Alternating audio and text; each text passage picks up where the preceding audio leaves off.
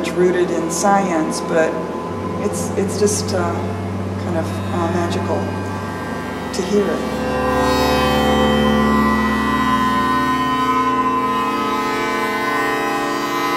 Tension really has no bearing on, uh, you know, the pitch that I get or anything. There's, uh, there's no physical reason for um, placing a great deal of tension on this because the way I'm playing is uh, using the longitudinal mode, and the uh, when I'm playing, I'm bowing along the length, and that sets up a different form of uh, mode of vibration, which is called the longitudinal mode, as opposed to the transverse mode, which is all other string instruments employ.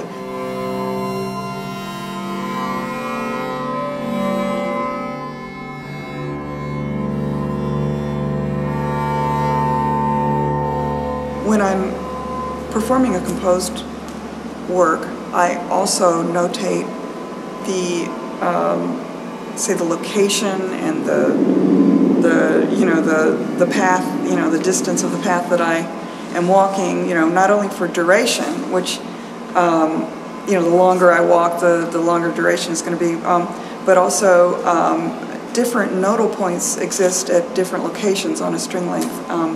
And so these numbers on the floor help me to map and locate where those are. You know, I can recall a particular texture that I uh, found interesting, you know, by notating, you know, say 15.7 meters, and then I can, you know, get close to it and, and recall that, that texture.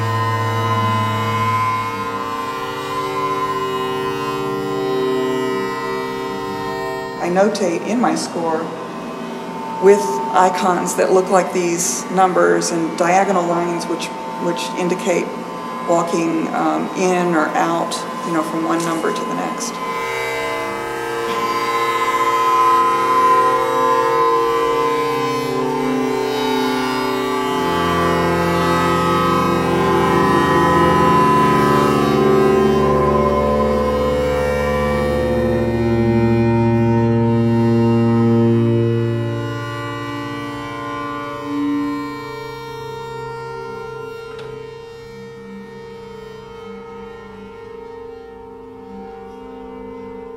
I start to internalize lengths of my strings. Um, I know that uh, thus and so pitch that is tuned, uh, that I can't, it, it's only going to be six meters long. I can't, I have to be up that close in order to even play that string. So it's like I've got a bunch of internal, internalized information uh, using the numbers.